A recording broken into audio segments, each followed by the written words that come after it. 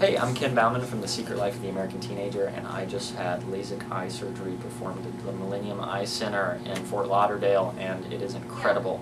I can see, and it's a miracle, and there is no better doctor and staff than Dr. Corey Lessner. His entire staff here is amazing, and the entire experience was easy and kind of fun. And uh, yeah, I highly recommend him. And if you're ever here in Florida, or even if you're not, come get LASIK here at the Millennium Eye Center with uh, Dr. Corey Lessner.